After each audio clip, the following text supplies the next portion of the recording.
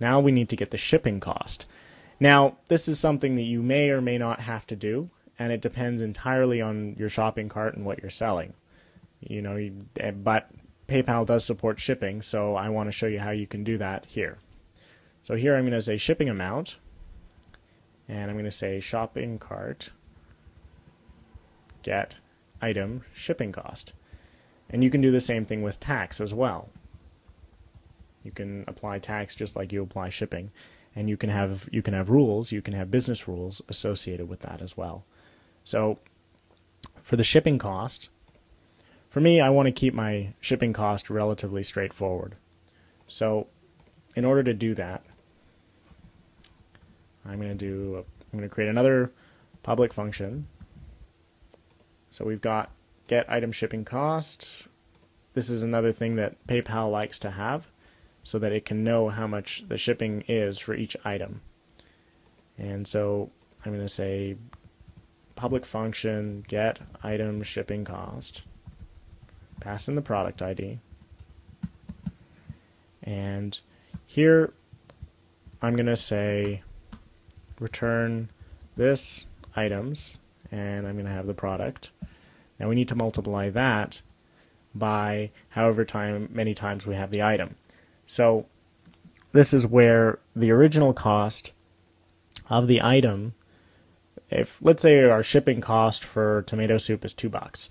Well, we might want to say that if you buy 10 pan 10 cans of tomato soup or if you buy 10 of any item, then you know the shipping cost is this or the shipping cost is that. Uh, you could do it any which way you want. Um, however, I'm doing it just this very simple way because it makes sense for the tutorial. But if you were writing your own shopping cart, this is probably where you would deviate and set things up however which way they made sense to what you were selling. But I'm going to say I want to multiply the item quantity. So I'm going to say this get item quantity of the product ID and I'm going to multiply that by this. Now you're going to notice I'm using a lowercase get this time. Shipping cost for, and I'm going to say get item cost, and then I'm going to say product ID.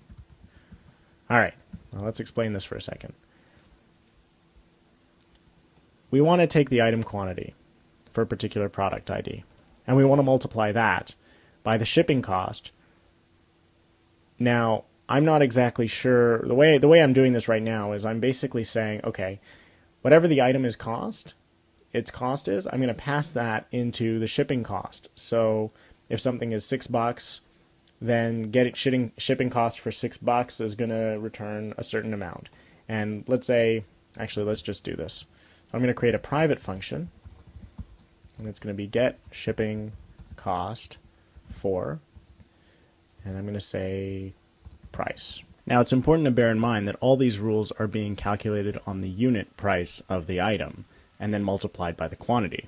Now, we can create certain business rules. So if price is less than 10, for example, let's say it's less than 10 bucks, then your shipping is going to be $1.99. Else if your let's say your price is over 50 bucks or sorry is less than 50 bucks then your shipping cost is going to be 10.99 and let's say for everything else if you've got a really big order then your shipping cost is going to be 34.99 I don't know so this could be very different depending on how you want to do it. You could check based on the product ID and based on certain products, or you could also have a, for example, in your catalog over here, you could also have weight. And then based on the weight of an object that you're shipping, you could pass that into your shopping cart, and your shopping cart could figure out what the shipping costs are for. Or another way of doing this is to actually pass into the shopping cart where you're from, pick in the address, and then you know, if you're doing something outside of North America, then you could also have rules for that as well. But this is the underlying framework that we're going to be working with. So it's a very simple shipping calculator, but just to give you an idea of where you would want to store the logic for that. Now, for now, to keep things a little simple, hopefully, I'm just going to add a break tag here, and I'm going to say shipping amount is shipping amount, and just like we have the amount here, I'm also going to put in a break tag, and I'm going to say unit cost is, and then the unit cost. And I'm just going to refresh that. So we can tell that for 931, shipping amount is is third okay for for eight of these guys my shipping amount is going to be $15 and my unit cost is $1.33 for each one of these cans of tomato soup. So what I've done let's just go back to our calculator here is I've basically taken the shipping cost for $1.99 and I've multiplied it by the item quantity. So I've got eight items at $1.99 and my shipping cost for each item is $1.99 and I'm multiplying $1.99 times 8 and that's how we're getting $15 for a $10 order which may or may not make sense depending on what you're selling. Anyways so now that we have these variables in place we've pretty much flushed out most of our of our shopping cart. Uh, we can add to it we can clear it uh, we are now in a position, let's just go back. Oh, view, cart, view cart doesn't exist yet, so let's, let's do that in a minute. But for now, let's just add some more items to our existing shopping cart. So I'm going to go back to view store. I'm going to add another thing of tomato soup. I'm going to add some linguine. I'm going to add some fresh cumin.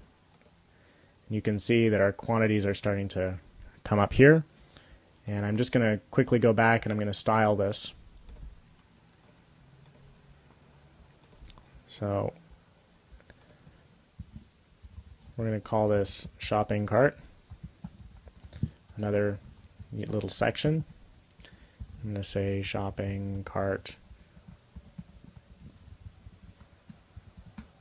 and the width of this table is going to be, I don't know, 600 pixels border is going to be one pixel solid light gray border collapse I'm going to set this to collapse. What this means is that we're not going to get double borders. It's going to collapse them down if it notices that the neighbor has a border. I'm going to set this to margin 0 auto, which is going to align it center. Shopping cart TRTH. So we're going into the table row and into the table head. And in here, I want the background to be EA, EA, EA, which is going to be a little lighter than CCCC, or CCC, which is the same thing as CCCCC. This is the same, but it's just shorthand. And I'm going to set another border here to one pixel solid CCC. And we're going to add a little bit of padding going to refresh that. So already this is looking a little better. And the other thing I'm going to do is I'm going to say shopping cart TRTD. So these are the actual cells. And they're also going to have a one pixel border and a bit of padding. All right. Oh, forgot a dot here. There we go. Well, this is starting to come together, slowly but surely. Let's go back to our add to cart page. Now, this function here, render shopping cart row, we can probably just move that into our templates file at this point. So I'm just going to delete that, cut that out, and then go to templates file and drop it in here. So this is going to, we're going to create a section called shopping cart templates. In the next video, we're going to be creating new templates for calculating the subtotal and the shipping row, and finalizing our shopping cart page before going to PayPal. Thanks for listening.